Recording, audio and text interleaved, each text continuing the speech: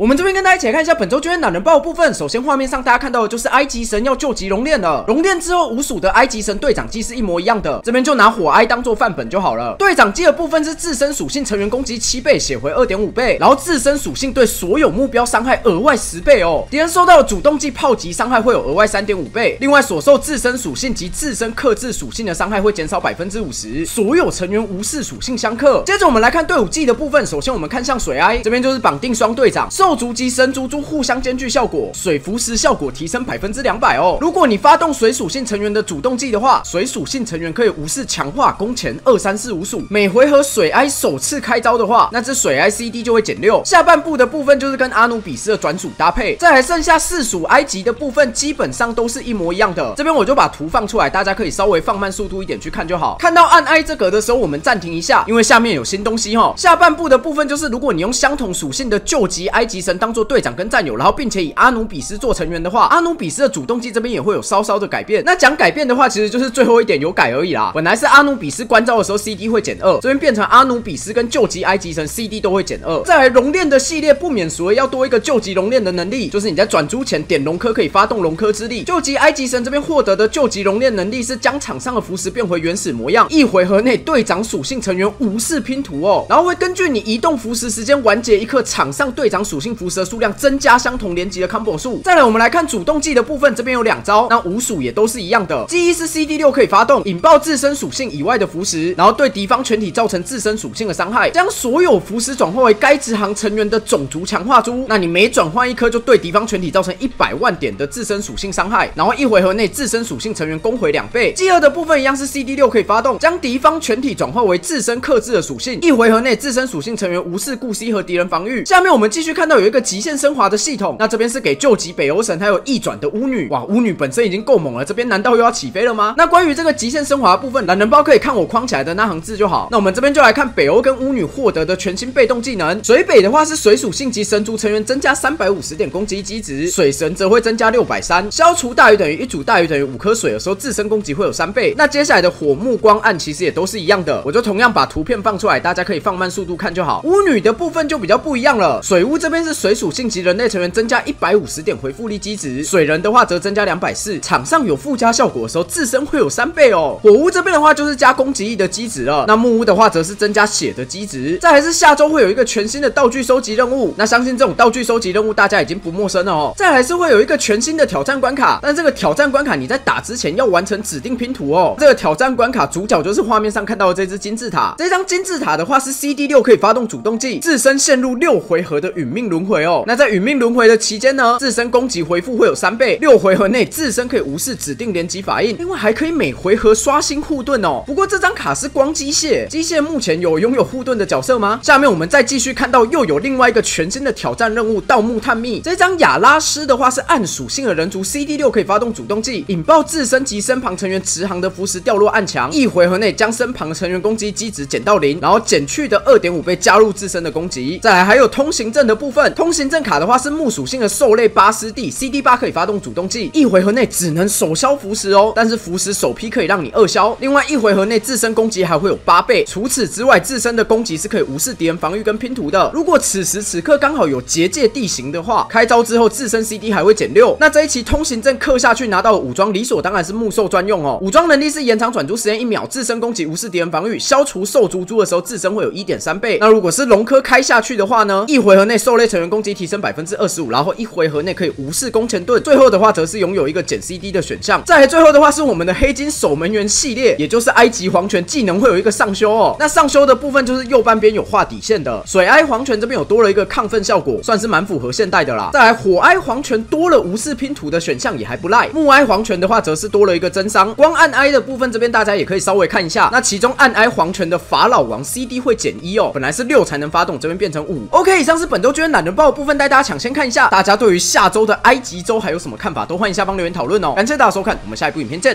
拜拜。